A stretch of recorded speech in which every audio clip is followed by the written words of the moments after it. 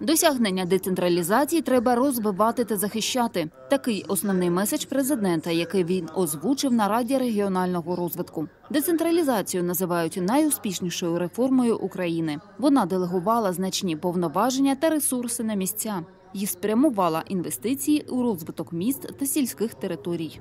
Децентралізація це те, що в 2014 році багато хто не вірив. Бо була традиція. І традиція полягала в тому, що на фінансових потоках має сидіти Київ. Незалежно від того, президент, прем'єр, міністр фінансів. Але з торбами треба було їхати до Києва. Децентралізація змінила в першу чергу бюджети міст та сільських громад. Подекуди вони зросли в десятки разів. Після об'єднання до нас стали більше зараховуватися податки, які залишаються на місцях.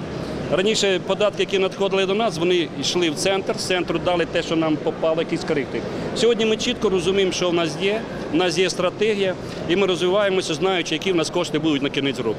Петро Порошенко зазначив, що децентралізація має перетворитися на потужний двигун, який дасть імпульс економічному зростанню. Члени команди президента з Дніпропетровської облдержадміністрації поділилися планами до 2021 року Це подальше поліпшення інфраструктури, будівництво та ремонти. Мы считаем, что мы должны сделать минимум 500 дорог внутри населенных пунктов еще, то, чтобы их было тысяча. И мы должны сделать, э, побороть бессилие Укравтодора, а его пофигизм, и сделать все основные трассы в нашей Днепропетровской области. Міський голова Дніпра розповів про те, як у місті відновили будівництво метро та розв'язали проблему з потрощеними ліфтами. І висловився про необхідність прийняття кодексу місцевого самоврядування, який має остаточно врегулювати відношення центру й територій. Також Борис Філатов згадав багатостраждальний аеропорт і непевну ситуацію з його відновленням На повестку дня был поставлен э, вопрос э, первоочередной с аэропортом и сдвинут с мертвой точки.